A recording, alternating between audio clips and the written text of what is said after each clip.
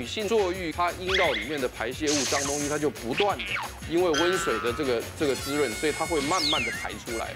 所以坐浴的时候呢，是可以防止阴道炎，间接造成尿道炎的降低。嗯，那淋浴就没有这个作用哦，淋浴没有用，所以你淋。今天下午六点，超市实在有健康。